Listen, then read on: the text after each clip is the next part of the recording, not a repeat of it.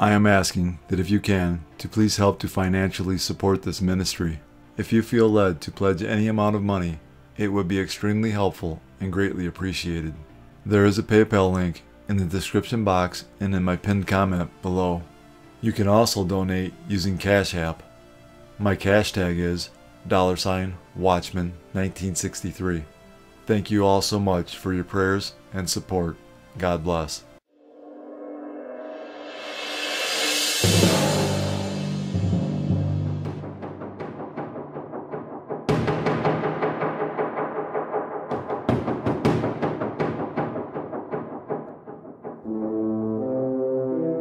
Welcome to the Watchman YouTube channel. This channel is all about world news and Bible prophecy, pointing to the soon return of our Lord and Savior, Jesus Christ. Jesus said, as a sign of his coming and the end of the age, there would be an increase in deception, false Christs who will deceive many, wars and rumors of wars, nation against nation and kingdom against kingdom, famines, pestilences, earthquakes, Christian persecution, apostasy, false prophets, and lawlessness causing the love of many to grow cold. Jesus said all of these signs would come like birth pains. Jesus was likening last day's events to a woman in labor. As the labor progresses, the pains increase in both frequency and intensity until the baby finally comes. As we get closer to Jesus' return, all the signs he gave us as a sign of his coming and the end of the age will become more frequent and more intense. All of these signs are manifesting around the world in our time. Ezekiel 33 1 through 11 Again the word of the Lord came to me, saying, Son of man, speak to the children of your people, and say to them, When I bring the sword upon a land, and the people of the land take a man from their territory, and make him their watchman, when he sees the sword coming upon the land, if he blows the trumpet and warns the people, then whoever hears the sound of the trumpet and does not take warning, if the sword comes and takes him away, his blood shall be upon his own head. He heard the sound of the trumpet but did not take warning, his blood shall be upon himself. But he who takes warning will save his life. But if the watchman sees the sword coming, and does not blow the trumpet, and the people are not warned, and the sword comes and takes any person from among them, he is taken away in his iniquity. But his blood I will require at the watchman's hand. So you, Son of Man, I have made you a watchman for the house of Israel. Therefore, you shall hear a word from my mouth and warn them for me. When I say to the wicked, O wicked man, you shall surely die, and you do not speak to warn the wicked from his way, that wicked man shall die in his iniquity, but his blood I will require at your hand. Nevertheless, if you warn the wicked to turn from his way, and he does not turn from his way, he shall die in his iniquity, but you have delivered your soul. Therefore, you, O Son of Man, say to the house of Israel, Thus you say, if our transgressions and our sins lie upon us, and we pine away in them, how can we then live? Say to them, As I live, says the Lord God, I have no pleasure in the death of the wicked, but that the wicked turn from his way and live. Turn, turn from your evil ways, for why should you die, O house of Israel? Just as the prophet Ezekiel warned the Israelites of impending judgment from Almighty God, the watchmen of our time are warning whoever will listen that God is getting ready to judge an unbelieving and unrepentant world. The Lord Jesus foretold that there would be plagues or pestilences in various places in the last days before he returns, as we read in Luke 21:11. And there will be great earthquakes in various places, and famines and pestilences, and there will be fearful sights and great signs from heaven. Pestilence is the Greek word loimos, which means a plague. Definition of a plague is any large scale calamity, especially when thought to be sent by God. Red alert on Wall Street as the prolonged coronavirus induced sell off reached a new low on Wednesday. After Monday's record points plunge, the Dow Jones Index ended the day with another huge slump, officially pushing stocks into so called bear market territory meaning that New York's main indices are now 20% lower than their recent highs. Although most companies took a beating, some were hit particularly hard. Airplane manufacturer Boeing saw a sharp fall in its share price, a reflection of the pain the coronavirus is already putting on the travel industry. Oil prices also took a hit after Saudi Arabia again decided to increase production in its price war with Russia. This is the first pandemic caused by a coronavirus. But with the World Health Organization officially declaring COVID 19 a global pandemic, worsening infection rates across Europe and the United States, and no clear plan in sight from the White House by the closing bell, it was a day when again, fears about the coronavirus's impact on the world's economy weighed heavy on investors' minds. I think there is definitely another leg to go with regards to this fear. And it happens more often than not. Investors tend to shoot first and then ask questions later. So we're, uh, we're obviously seeing that pan out as, as we speak. A bear market doesn't always mean that a recession will follow, but with some financial institutions lowering their forecast for economic growth, market watchers say it is a worrying sign. In the last days, the Bible gives a warning to the rich who oppress the laborers as we read in James 5 1 through 6. Come now, you rich, weep and howl for your miseries that are coming upon you. Your riches are corrupted, and your garments are moth eaten. Your gold and silver are corroded, and their corrosion will be a witness against you, and will eat your flesh like fire. You have heaped up treasure in the last days. Indeed, the wages of the laborers who mowed your fields, which you kept back by fraud, cry out, and the cries of the reapers have reached the ears of the Lord of Sabaoth. You have lived on the earth in pleasure and luxury. You have fattened your hearts as in the day of slaughter. You have condemned. You have murdered the just. He does not resist you. This is an ABC News special report. Now reporting, George Stephanopoulos.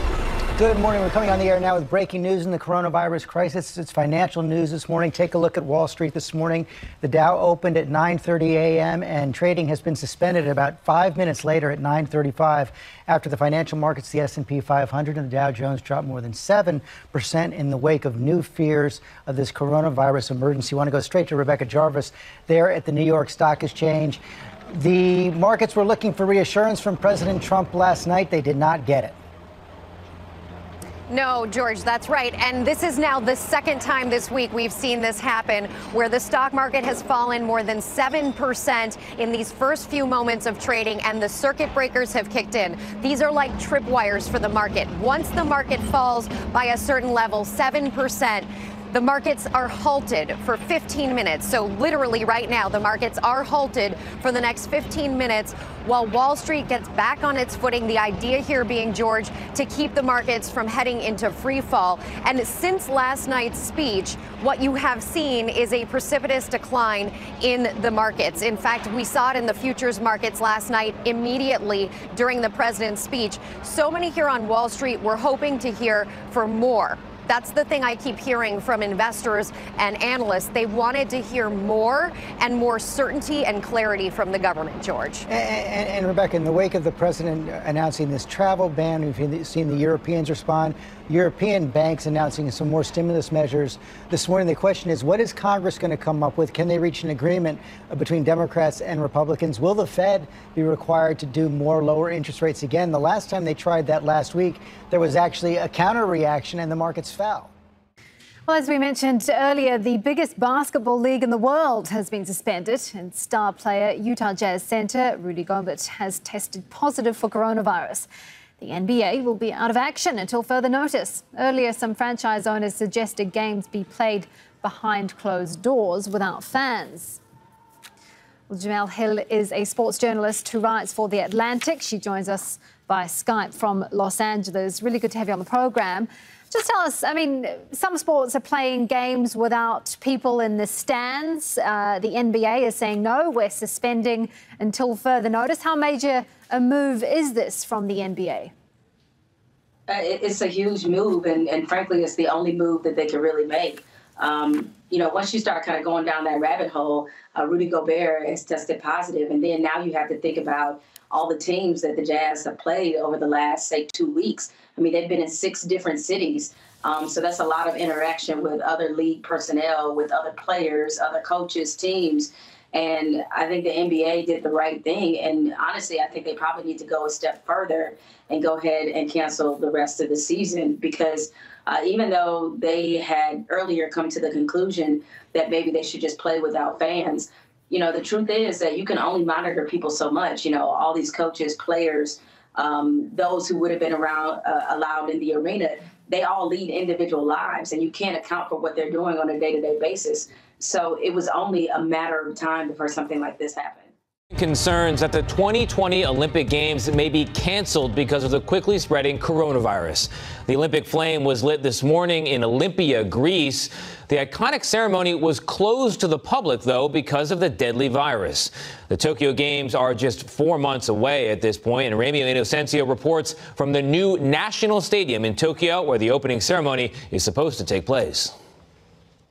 The clock is ticking till Tokyo hosts the 2020 Summer Games this July, but Olympic dreams and Olympic sized investments could both fall victim to the coronavirus.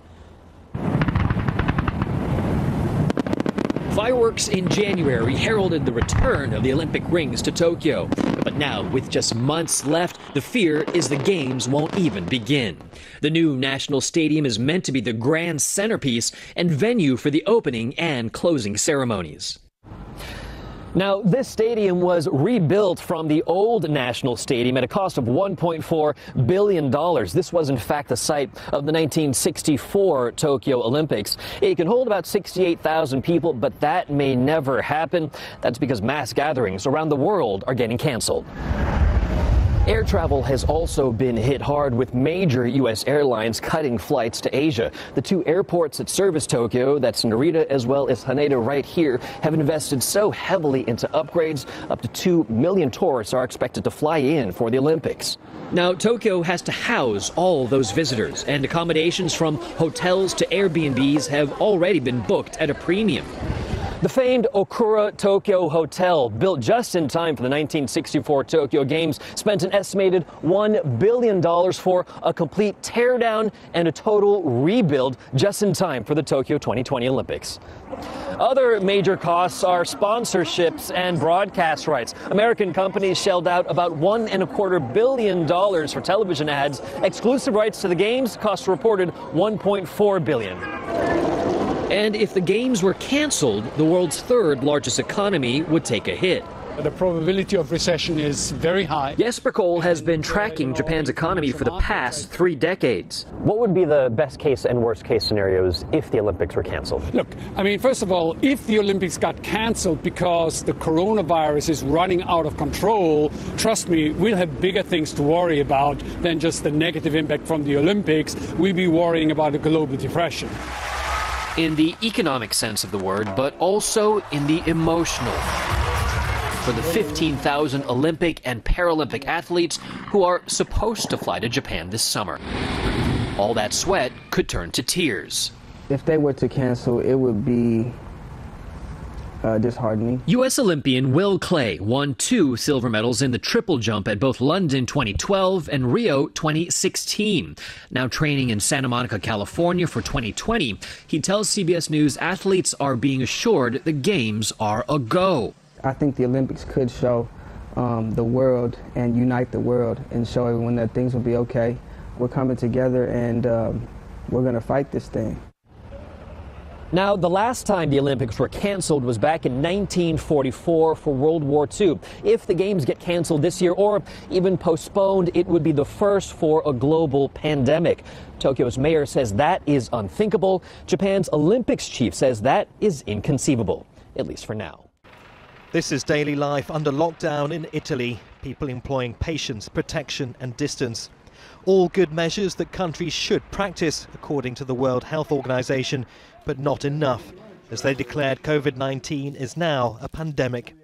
WHO has been assessing this outbreak around the clock, and we're deeply concerned both by the alarming levels of spread and severity and by the alarming levels of inaction. We have therefore made the assessment that COVID 19 can be characterized as a pandemic. What started in China has now spread to more than 100 countries, but 90% of cases are spread over just four nations. Iran is one of them, where more than 300 people have died. South Korea is another where efforts to stop the spread of the virus have so far failed.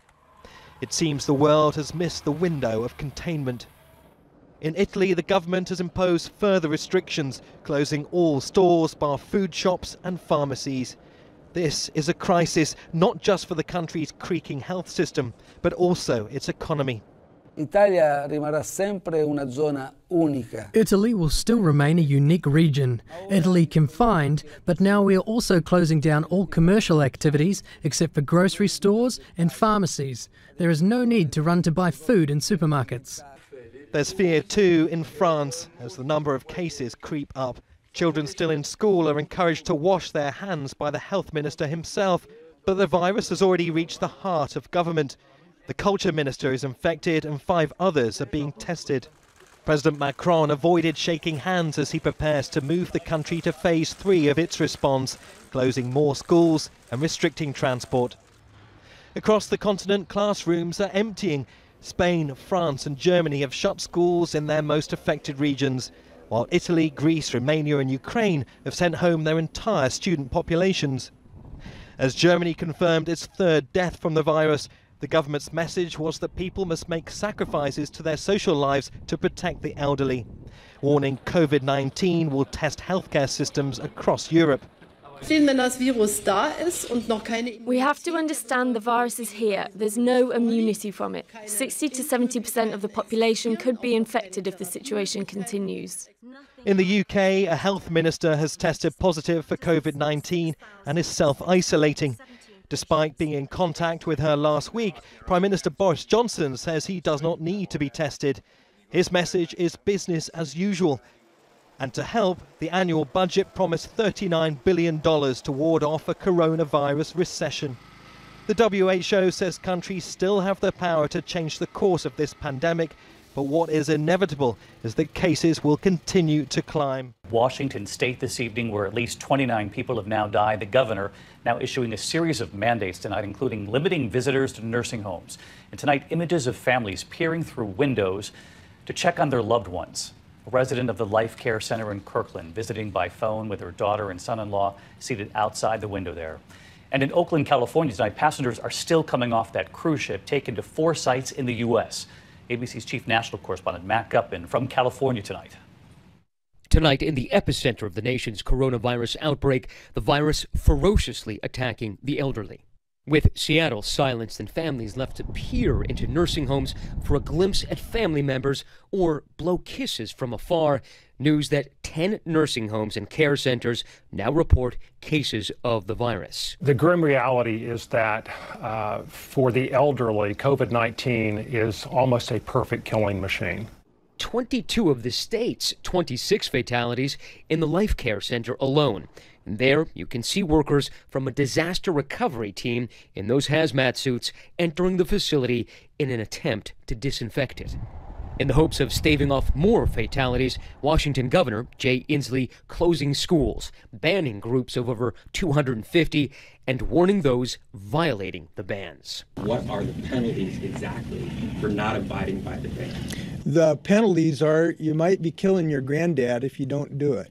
The governor saying the fatalities have mostly struck people who are both elderly and ill. And San Francisco taking those similar measures, banning groups of over a thousand from congregating, and in nearby San Jose at the airport, three TSA agents contracting the virus. 40 miles away in Oakland, the Grand Princess still dockside, offboarding passengers for the third consecutive day. Teams in hazmat suits processing them. So far, more than half of the passengers taken off. But according to some of the passengers, that processing ahead of quarantine has been too slow. Nothing is happening again. So let's get back to Matt Gutman again with us tonight. And Matt, we saw something today that drew immediate attention. It really drove home uh, why officials say we yeah. must slow the spread of this disease. Take a look. I know you saw it, Matt. What many call the need to flatten the curve. There's a line through the middle of this. You can see the red there. The forecast, if we don't take protective measures, that spike above the line there are the, the people who would not be able to get into hospitals around this country. The blue is that as this is spread out over time, it keeps the number at least uh, somewhat more manageable for hospitals across this country. And Matt, that's why authorities are trying to buy some time with what they call social distancing. For you and me, that just simply means uh, informing the public to try to stay away from crowds here. That's right. And ideally, they would have therapeutics and vaccinations to both flatten the curve and delay it. But they don't have that. So they're banning crowds, closing schools, anything to avoid a lot of human contact. And the reason for that, David, is they do not want the public health care system to be overwhelmed. But we are already seeing a faint glimmer of that. The president today warning that he foresees a shortage in protective masks for healthcare workers. There's this panic regarding the coronavirus here in America. I have to ask you, you're in LA, I'm here eh, on the other side of the coast. Do you think it's justified, this panic and this idea of basically people going and stocking up on toilet paper and Tide Pods, millennials, I think is what your, your tweet said earlier today. Is this all justified, the type of panic that we're in at this point? Well, I always think when the, the, the, most emblematic thing about a worldwide panic and a pandemic is that you go out to get toilet paper. I, I, I, don't know that that's quite the worst panic that I've ever seen. Uh, listen, let's face facts. We live in a social media era where people think every half thought, every musing, every mental hiccup uh, should be put out and you know, chiseled into the edifice of the world. We take ourselves way seriously. We act like we're all knowing, omniscient, and we're not. And I can't tell you anything about this thing except I'll try to wash my hands more during the day. Uh, that being said, listen, if it's if it's the end of the world as we know it, guess what? At some point, we're about to be humbled and reminded that in the overall scheme of the universe, uh, we're kind of uh, gnats on the pachyderm's back, so to speak.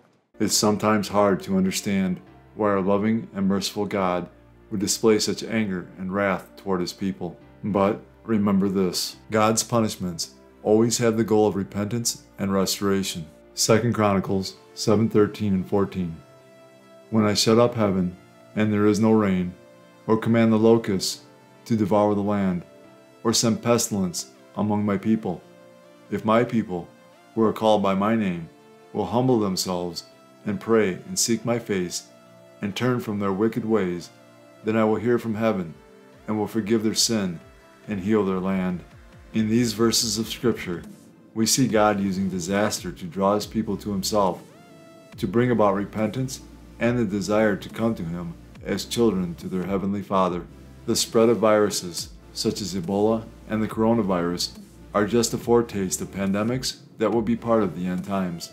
Jesus prophesied of future plagues associated with the last days, as we read in Luke 21:11. And there will be great earthquakes in various places, and famines and pestilences, and there will be fearful sights and great signs from heaven.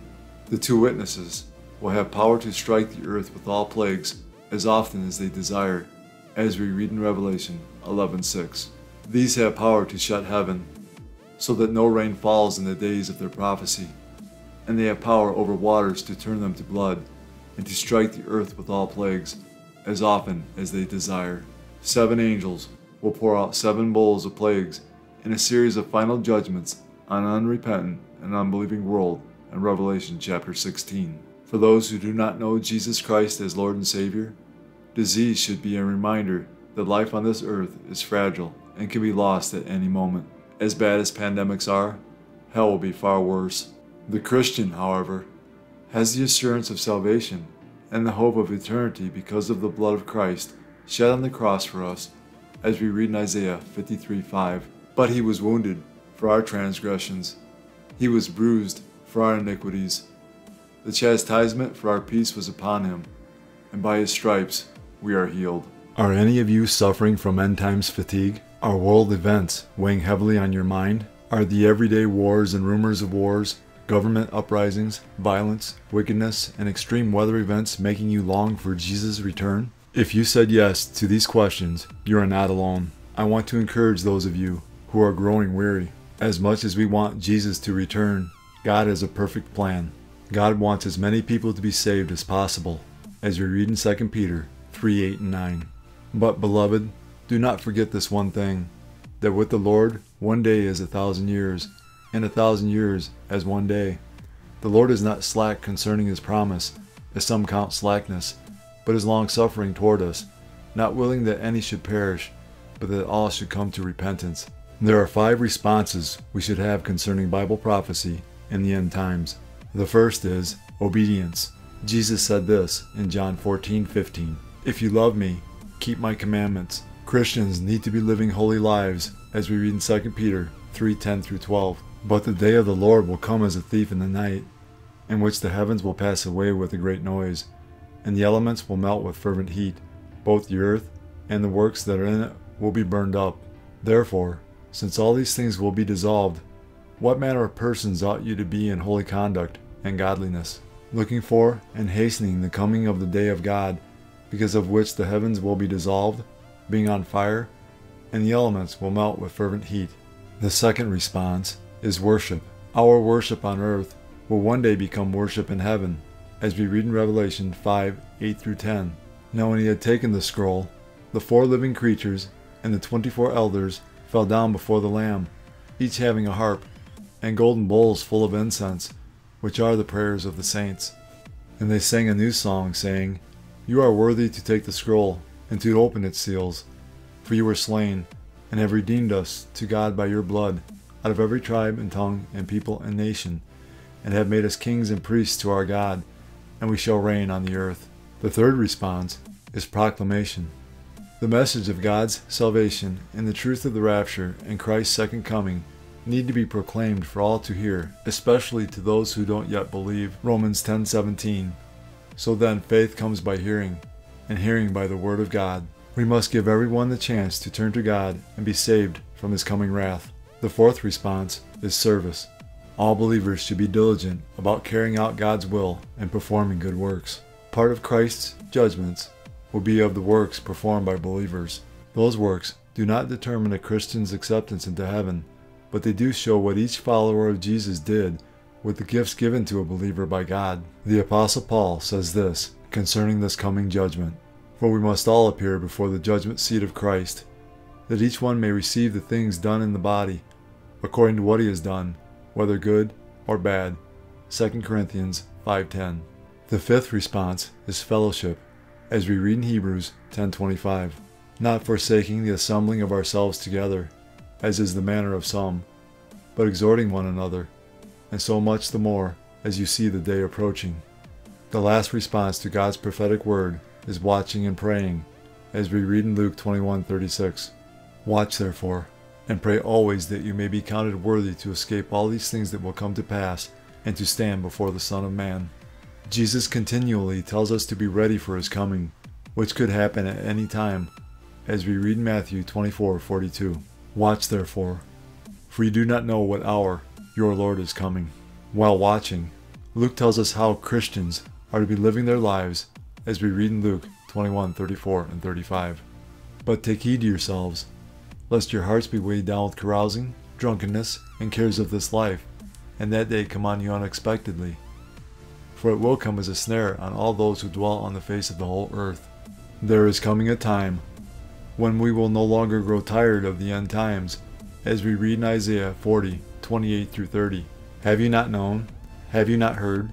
The everlasting God, the Lord, the creator of the ends of the earth, neither faints nor is weary. His understanding is unsearchable. He gives power to the weak, and to those who have no might, he increases strength. Even the youth shall faint and be weary, and the young man shall utterly fall. But those who wait on the Lord shall renew their strength. They shall mount up with wings like eagles. They shall run and not be weary. They shall walk and not faint. God will remove every tear from our eyes, and there will be no more pain, as we read in Revelation 21:4. And God will wipe away every tear from their eyes. There shall be no more death, nor sorrow, nor crying. There shall be no more pain for the former things have passed away. 1 Corinthians 16:13 Watch, stand fast in the faith, be brave, be strong. One day Jesus is coming. You may be at church. You may be at work. You may be asleep. God grant that you will be ready when he makes his personal appearance. My God, what if his appearance occurs on a Sunday morning? My prophetic word to you this morning is get ready, get ready!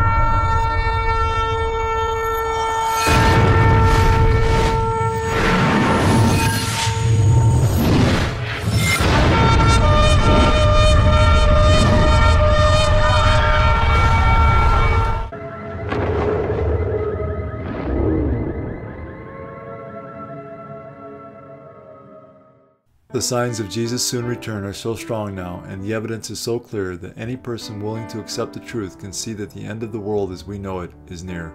For God so loved the world that he gave his only begotten Son, that whoever believes in him should not perish but have everlasting life. For all have sinned and fall short of the glory of God. But God demonstrates his own love toward us, and that while we were still sinners, Christ died for us.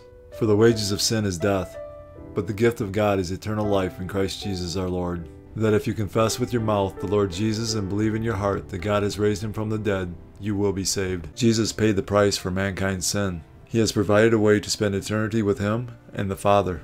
All you have to do is believe in the Lord Jesus, and you will be saved. God has already done all the work.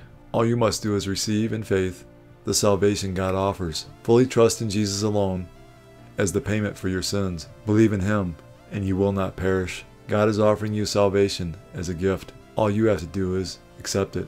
Jesus is the only way of salvation. That being said, we must repent of our sins. While repentance is not a work that earns salvation, repentance unto salvation does result in works. It is impossible to truly and fully change your mind without that causing a change in action. In the Bible, repentance results in a change in behavior. Repentance, properly defined, is necessary for salvation. Biblical repentance is changing your mind about Jesus Christ and turning to God in faith for salvation. Turning from sin is not the definition of repentance, but it is one of the results of genuine, faith based repentance towards the Lord Jesus Christ. Time is short. Accept Jesus today.